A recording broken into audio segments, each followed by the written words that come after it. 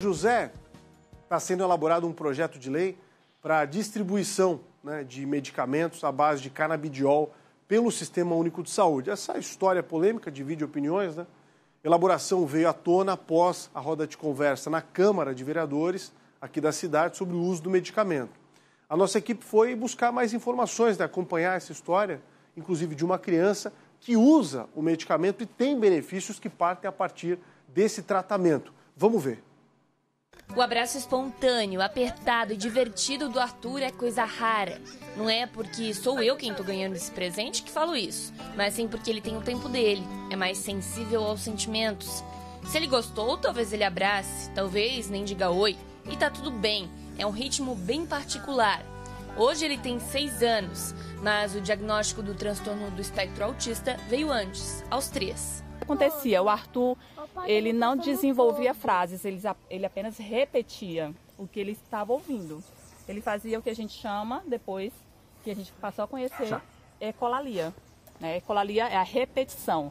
E aí começamos a observar também alguns outros comportamentos, como andar nas pontas dos pés, dificuldade é, quando a gente alterava até a rota do caminho que a gente fazia a rota, no carro. Do caminho comum. É, ele entrava em crise e baixa tolerância à frustração sempre. O Muito não, baixo. ele não conseguia ouvir um não. E aí era quando ele fazia aquilo que a gente chama de birra. O casal é natural da capital do Acre, Rio Branco. O Arthur nasceu por lá também, mas a família cruzou o país e veio morar em Santa Catarina para poder buscar o melhor tratamento possível para o filho caçula. Logo após a mudança, veio o primeiro contato com a ideia de aliar todas as terapias que o pequeno já fazia ao uso do canabidiol. O canabidiol, né, ele é um dos vários fitocannabinoides presentes na planta cannabis, popularmente conhecido como maconha.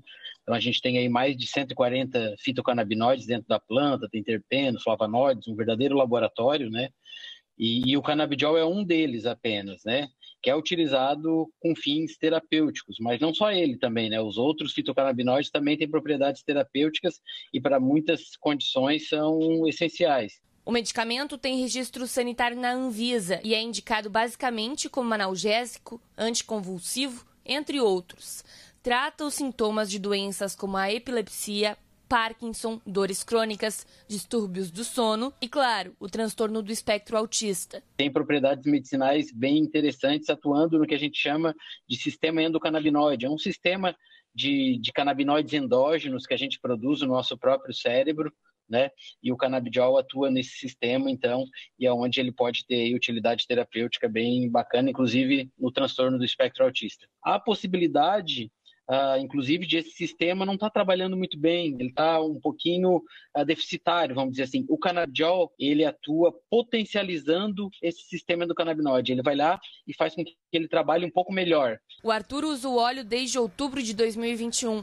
São cinco gotas sublinguais três vezes ao dia. Tudo com prescrição e acompanhamento de uma médica licenciada. E o uso é aliado a outras terapias. Para os pais do menino, a mudança foi notável e quase que imediata. Agora o Arthur tem qualidade de vida. A gente percebeu assim uma melhoria. Meu Deus do céu, eu sou super é, super assim, faz uso. É, quem, principalmente crianças que têm atraso na fala, tanto é que a gente assim indicou já para N pessoas, né? N mães, quando vem o Arthur, é, vê a forma como ele se comunica, né? E aí elas perguntam, né, o Arthur usa alguma coisa, faz um medicamento. Em conversas né, de mães, a gente fala do CBD. E a gente sempre fala, a fala dele, né, a comunicação dele foi outra. Para eles, essa mudança positiva na vida do pequeno foi tão grande que é impossível pensar em uma sociedade que ainda problematiza esse uso, num tom de preconceito e tabu, geralmente associando o medicamento a drogas psicoativas. Pessoas não conhecem, aí por não, ao invés de procurar conhecer, procurar saber sobre, preferem criticar e aí gera, gera, -se, gera em si próprio o, o preconceito. Ah, isso não presta. Ah, é da maconha. É maconha, ah, é, né? maconha, é uma uhum. droga. Como que pode uma droga fazer ser algo para tratar, para tratar alguém? Mas não é. Além do tabu e o preconceito, outra barreira que o uso do medicamento enfrenta é a financeira. No caso do Arthur, o canabidiol vem da Flórida. Um vidrinho desses custa 670 reais e dura dois meses e meio. Se a produção fosse nacional, o custo seria muito menor. A, a liberação da produção em território nacional, que é essencial, é necessário, urgente, né? porque tem muita gente precisando e a produção no Brasil uh, iria baratear o produto e facilitar o acesso e também gerar economia, empregos, uma série de coisas. O ideal mesmo é ter uma legislação que coloque as regras certinhas, não só para a produção do canabidiol isolado, mas para a produção do óleo integral, inclusive, porque como eu falei, tem várias condições como dor crônica, fibromialgia, que o canabidiol sozinho não dá conta, que precisa de todo o laboratório contido ali na planta. Mesmo com todos os obstáculos financeiros, preconceitos e dificuldades no dia a dia de quem é autista, e da família, o sentimento segue sendo de amor, de abraços apertados, de brincadeira e de muito cuidado. É, esqueceram de um detalhe, né? Existe também o lobby das gigantes farmacêuticas nos bastidores do comércio de medicamentos mundial, não é só no Brasil não. Tem essa outra barreira que precisa ser destruída ou ultrapassada.